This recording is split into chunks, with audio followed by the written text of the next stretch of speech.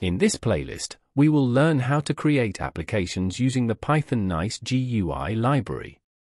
First, what is Nice GUI? Let's answer this question.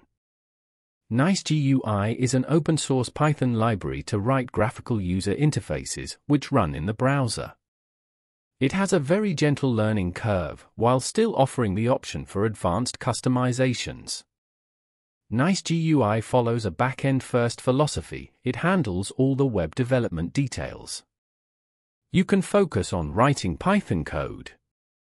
Now let's learn how to transfer the Nice GUI library. I open a new terminal.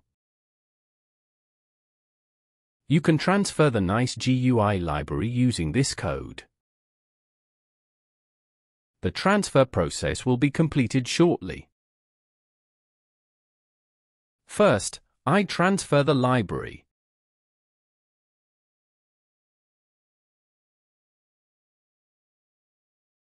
I will create a simple label object.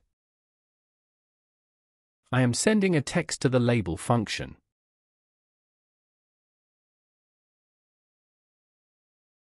I can start the program using the run function. I'm running the project. A web server starts working in a short time. I go to this address using a browser. You can use Chrome or Microsoft Edge browsers. Does not matter. The label I created is displayed in the web window. I change the text I send to the label object. As soon as I save the code, the web server is automatically updated.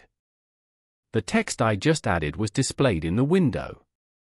You can continue learning the features of the Nice GUI library by following the playlist. To support us, you can subscribe to the YouTube channel and like the video.